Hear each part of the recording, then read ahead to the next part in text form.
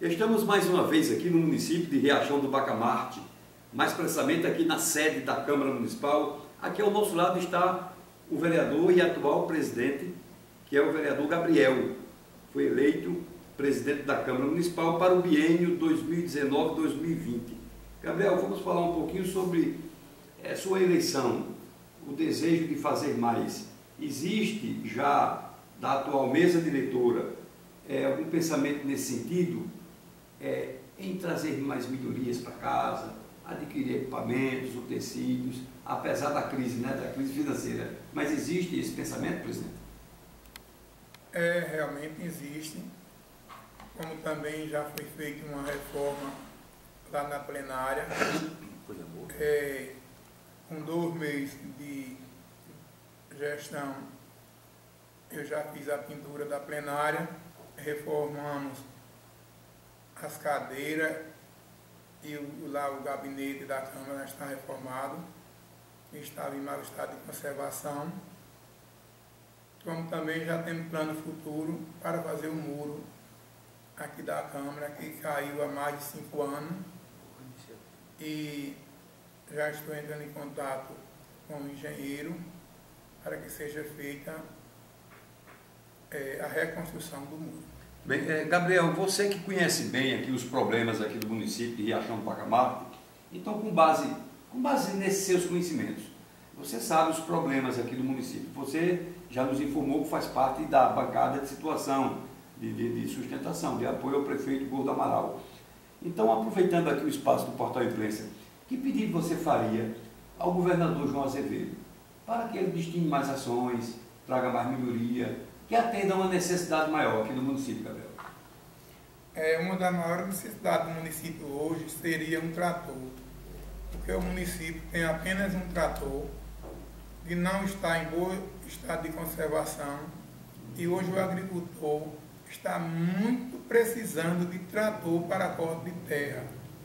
A, o trator que temos na cidade não está atendendo a demanda e o pessoal está me aperreando muito por trator, inclusive pedindo ao prefeito que com urgência alugasse um trator para que fosse atendido os pedidos de todos os pequenos agricultores do município. Muito bem lembrado. E, inclusive, Gabriel, lembrando aí também o favorecimento aí das chuvas, né? graças a Deus, é, teve aí um, um, um período chuvoso muito bom e isso vai, claro, é dar mais ânimo, mais força, mais determinação, mais impulso ao agricultor rural.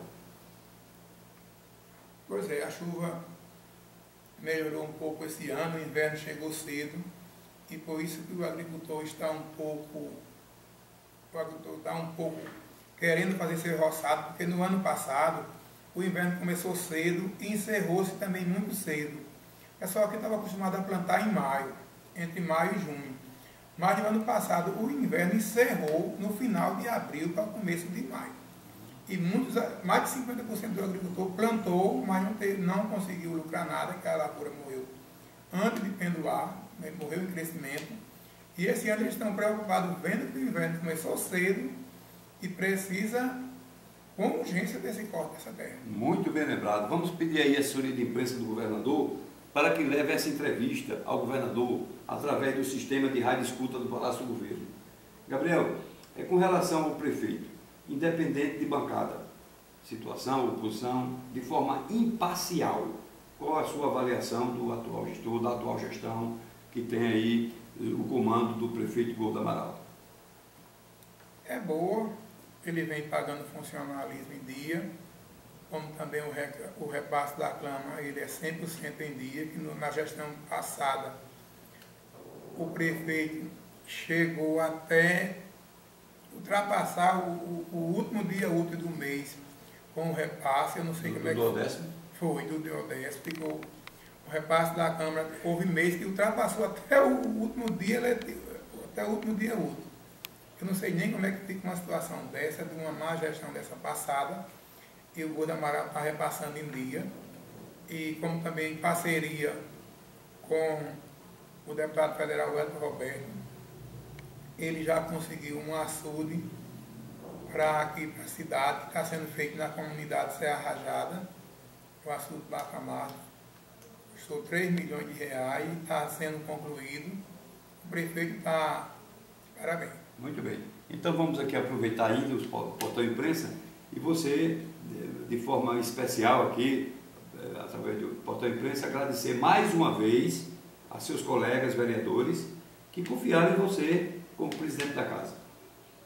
É, mais uma vez, eu tenho a dizer a todos os meus colegas que me eles que me convocaram para ser presidente, não fui eu que tive essa, essa iniciativa, e sim foi os próprios vereadores que tomaram uma decisão e me deram uma vitória estrondosa de 7 a 0. Não foi nem 7 a 1, foi 7 a 0.